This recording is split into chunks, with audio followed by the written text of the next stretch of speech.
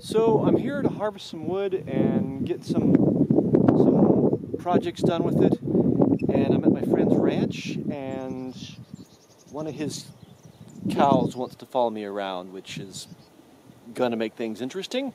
But we'll see how the day goes. I'll see you.